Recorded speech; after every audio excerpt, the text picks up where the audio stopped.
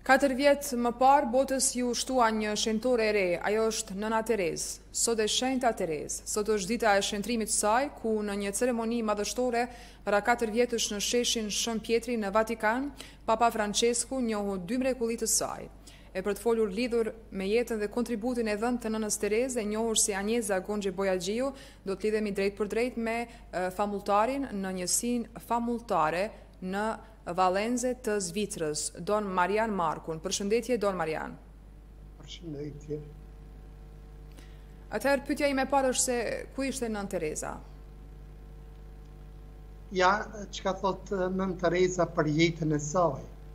Me gjak e gjeni jam shqiptare, me nënshtetësi indiane, jam murgeshë katolike, për thirrje i përkas mbarë botës, por zemra ime i përket plotësisht zemrës së Krishtit. Linda në Shkup në vitin 1910, im atë kishte një dyqan të vogël ku shiste material ndërtimi, kisha një motër e një vëlla. Ishim familje e lume e shumë e bashkuar. Unë jam një laps i vogël në dorë të Zotit. Është ai që shkruan, ai që mendon, është ai që vendos e përsëris unë jam veç një laps i vogël i vogël. Mund na thoni diç mbi thirrjen dhe veprën e shenjtores Nën Tereza? Natyrisht se Shën Nën Tereza vendosi në vitin 1928 në Letnicë për të shkuar në Indi për t'ju shërbyer të varfërve, natyrisht përmes Loretos, Derisa ishte atje, ajo në vitin një mijë e nëntëqind e dyzet e tetë, duke udhëtuar në tren për Darjeeling, përjetoi një thirrje brenda thirrjes, për të shërbyer ata të cilët më së tepërmi kanë nevojë për ndihmën e saj. Ajo këtë thirrje e lidh me thirrjen e Krishtit, I thirst, kam etje. edhe shën Nënë Tereza thoshte nuk kishte etje Krishti për ujë, por kishte etje për dashuri. Dhe vepra dhe jeta e saj në këtë thirrje ishte për dashuri ndaj atyre që kanë nevojë për ndihmën e saj. Dhe në mënyrë të posaçme, vepra e saj mund të shpjegohet në pesë gishta të dorës, ku ajo shpesh e ka thanë You did it to me. Çfarëdo që të bëjmë, ju ma keni bërë mua. Pra ne çfarëdo që bëjmë për njëri-tjetrin, e bëjmë për Zotin. Nga kjo lutje e Shën Nënë Terezës, të cilën tashti do e lexoj, shihet i gjithë veprimi i saj. O Zot, a i dëshiron duart e mia, për ta kaluar këtë ditë, duke u ndihmuar të varfërve e të smurëve që kanë nevojë. O Zot, sot po t'i jap duart e mia. O Zot, a i dëshiron këmbët e mia për ta kaluar këtë ditë, duke i vizituar ata që kanë nevojë për një dashamirë. O Zot, sot po t'i jap këmbët e mia. O Zot, a dëshiron zërin tim për ta kaluar këtë ditë duke folur me ata që kanë nevojë për një fjalë të dashurisë. O Zot, po ta jap zërin tim. O Zot, a dëshiron zemrën time për ta kaluar këtë ditë duke e dashur çdo njeri vetëm se është njeri. O Zot, sot po ta jap zemrën time. Faleminderit për këtë interpretim. Vazhdojmë me pyetjen tjetër, domethënë viti 1979 ishte viti që mori çmimin Nobel për paqe. Çfarë tha atje Nënë Tereza dhe çfarë ishte paqja për të? Dhurata më e madhe në jetën time është dashuria e Jezusit. Ai është burimi i jetës sime, i thirrjes sime, i kushtimit tim. Ai është dashuria ime. Çdokush Dhe çdo gjë për mua, dëshira ime më e madhe do të ishte kjo, që kjo dashuri të zbatohet në mbarë botën, sidomos tek ata që vuajnë. Ajo, duke folur për paqen, ka formuluar dhe këtë përsiatje. Fryti i heshtjes është lutja. Fryti i lutjes është feja. Fryti i fesë është dashuria. Fryti i dashurisë është shërbimi. Fryti i shërbimit është paqja. Paqja ka për qëllim për të mbjellë dashurinë dhe për të lejuar zhvillimin e rritje, rritjes për veprim. Ne jemi të lindur për të dashur dhe për të qenë të dashur. Drunjtë, lulet, bimët, rriten në heshtje. Yjet, Dielli, hëna, lëvizin në heshtje. Heshtja na jep një shikim të ri të gjërave. Po sigurisht që Gonxhe Bojaxhiu Nënë Tereza tërë jetën e saj veproi për dashuri. Çfarë domethënie kishte dashuria dhe paqja për të? Ajo ishte edhe engjëll i gëzimit, çfarë thoshte ajo për gëzimin? Natyrisht se dashuria ka qenë pikënisja e jetës së saj se çka do që ka bërë e ka bërë për dashuri dhe kjo dashuri ajo thotë duhet të jetë deri në dhembje, që dashuria vërtet duhet të jetë deri në dhembje. Edhe po e tregoj një shembull që ajo shpesh tregonte shembuj, një ditë erdhën tek unë dy të rinj dhe më dhanë për të varfër një shumë të madhe parash. I pyeta të dytë, ku e kanë gjetur atë shumë të madhe parash? Ata u përgjigjën, Para dy ditëve jemi martuar dhe kemi vendosur që mos të blejmë petka të shtrenjta për kurorë dhe mos të bëjmë festë të madhe. E habitur që njerëzit e pasur të veprojnë ashtu, i pyeta dhe një herë. Ata më thanë, ne aq shumë e duam njëri-tjetrin, saqë dëshirojmë ta fillojmë jetën tonë të përbashkët duke i dashur të tjerët. Kështu vjen tek njerëzit dashuria e ëmbël hyjnore. Veprat e dashurisë ndaj të afërmve nuk janë asgjë tjetër veçse një derdhje e dashurisë hyjnore që është tek ne. Sa më thellë të jetë ndokush i lidhur me Hyjin, aq ma tepër do të dojë të afërmin. Nëse ne me të vërtetë dëshirojmë të duam, duhet të sakrifikohemi deri në dhembje, atëherë dashuria jonë është flijuese dhe e besueshme për të tjerët. Njeriu është i paarsyeshëm, i palogjikshëm, egocentrik, s'ka rëndësi, duaje. Nëse bën mirë të thonë se bën për qëllime egocentrike, s'ka rëndësi, bëj mirë. Nëse i zbaton qëllimet tua, do të gjesh miq të rrejshëm dhe armiq të vërtetë. S'ka rëndësi, zbato. Të mirën që bën, nesër do të harrohet. S'ka rëndësi, bëj mirë. Nderi dhe çiltëria të bëjnë të lëndueshëm, s'ka rëndësi, të jesh i çiltër dhe i ndershëm.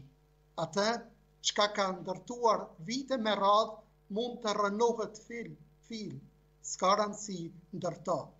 Nëse i ndihmon njerëzit, do të hidhrohen, s'ka rëndësi, ndihmoju.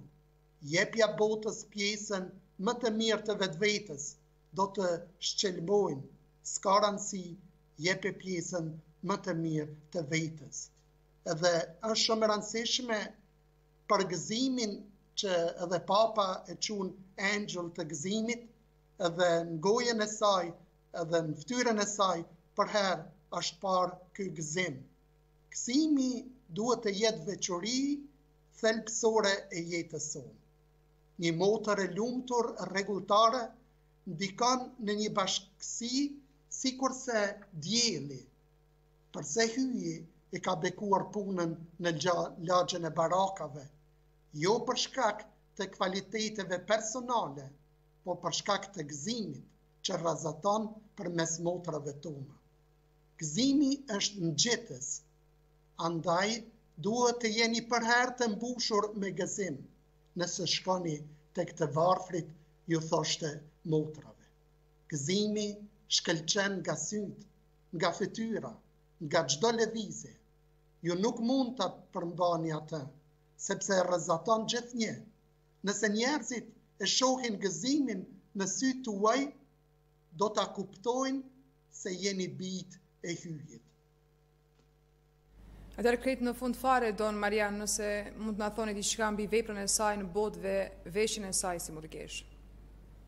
Nëna Tereze nuk mund të kuptohet pa themelimin e kongregatës misionare të dashurisë, e cila sot shihet në katër anët e botës, përmes shtatëqind misioneve të saj që punojnë në njëqind e tridhjetë e dy vende të ndryshme të botës. Praktikisht, Nëna Tereza edhe në këtë aspekt ka dhënë një kontribut shumë të madh për ne dhe për popullin shqiptar. Nuk ekziston kryetar në botë që nuk e ka takuar. Po ashtu dhe Papën Gjon Palin e dytë kanë qenë miq të afërt me njëri tjetrin. Dhe me siguri ku ka qenë, ajo e ka dëshmuar se është shqiptare, e ka dëshmuar realitetin e jetës në Kosovë, posaçërisht kur ka qenë në Amerikë, Regani dhe shoqja e tij Nensi, që e pret vetë në aeroport, që ka qenë aq lidhshmëri e madhe me të. Edhe mu më vjen shumë, jam shumë i knaqur që para tri viteve isha në Australi në Melbourne edhe atje kam takuar një të afërt të Nënës Tereze, ku dhe kam fotografuar një letër ku Nëna Tereze i shkruan çikës së dajës Filës për vdekjen e nënës së vet.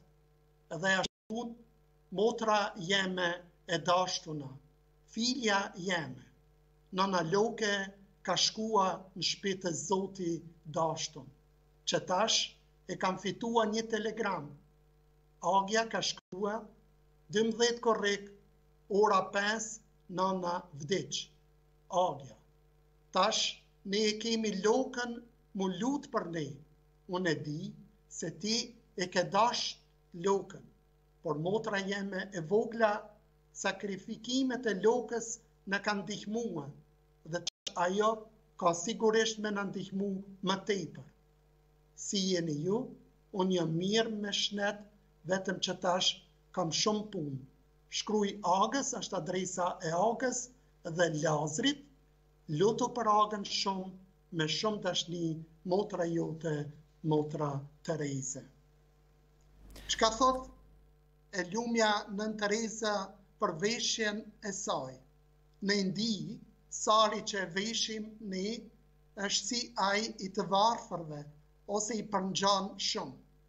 E vetmja gjë që ndryshon në të është kryqi i vogël, i varur në supin tonë të majtë në lartësinë e zemrës, i cili na kujton në vuajtjen e Krishtit. I shtuam dhe shiritin e kaltërt, simbol i përvujtërisë së Marisë. Kryqi prej drurit, në anën e majtë të kraharorit, simbolizon dashurinë tonë për Krishtin. Sandalët që mbathim në këmbë simbolizojnë rrugën tonë të zgjedhur me vullnet dhe krejtësisht të lirë.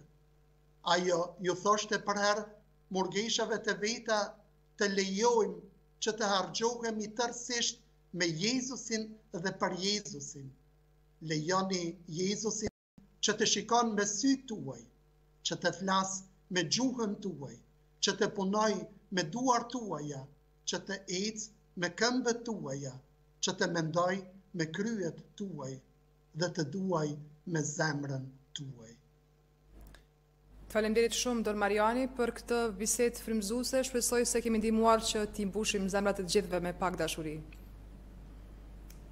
Edhe diçka për fund kisha me thanë, jeta dhe fjalët e urta të një nëne të mirë, posaçërisht pas vdekjes dhe shenjtërimit të saj, janë një porosi, guxim dhe amanet i madh, posaçërisht për popullin shqiptar, por dhe për mbarë njerëzimin, sepse ajo ishte nënë e gjithë botës. Fjalët e tilla janë fjalë që mund të flasin shumë pak njerëz. Shën Nënë Tereza ishte një prej tyre, fjala faleminderit, se ishte një rregulltare katolike, se ishte një shqiptare, se ishte një nënë e gjithë botës, nuk guxon të mbesë vetëm një fjalë e vdekur, por një guxim një shtytje dhe një forcë për ne si shqiptarë, por dhe për mbarë njerëzimin. Dhe po e përfundoj me një thanie të saj, gjej kohë për të menduar është burimi i fuqisë. Gjej kohë për t'u lutur. Është në botë më e madhja fuqi. Gjej kohë për të qeshur. Është muzika e shpirtit. Gjej kohë për lojë është fshehtësia e rinisë, gjej kohë për të dashur, është dhurata e hyjnisë, gjej kohë për të dhuruar, është ngadhënjimi i dashurisë, gjej kohë për të lexuar, është burimi i urtisë, gjej kohë për t'u shoqëruar, është rruga e lumturisë, gjej kohë për të punuar, është çmimi i ardhmërisë, gjej kohë për të bërë mirë, Është çelësi që na shpje në qiell dhe të gjithë shqiptarëve kudo që janë në botë urime dita e Shën Nënë Terezës dhe ajo le të jetë shembull për secilin prej nesh po e përfundoj me fjalët e saja you did it to me pesë gishta është gjithë vepra e saj dhe gjithë ungjilli të mendojmë se çkado që bëjmë për njëri-tjetrin e bëjmë për Perëndinë, për Hyjin, për Zotin. Urime dhe gjithë të mirat. Shumë urime dhe juve dhe gjithë shqiptarëve kudo që janë.